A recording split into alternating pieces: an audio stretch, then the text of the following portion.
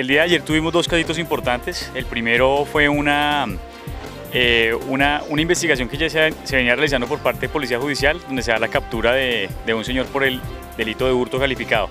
Y el otro fue un caso de antecedentes que se despidió a una persona sobre la vía, donde se encontramos que el celular que tenía tenía un reporte o una noticia criminal por hurto, por, hurto el cual fue judicializado por el tema de receptación. Invitamos a la ciudadanía de Ocaña a que tenga muy en claro y tenga en cuenta dónde compran sus celulares para que no van a resultar con esos problemas de celulares robados y demás. En este momento hay clase en todos los colegios. Esta mañana aplicamos un plan de acompañamiento en la entrada de los colegios. Igualmente lo vamos a hacer hoy en la finalización de la jornada escolar.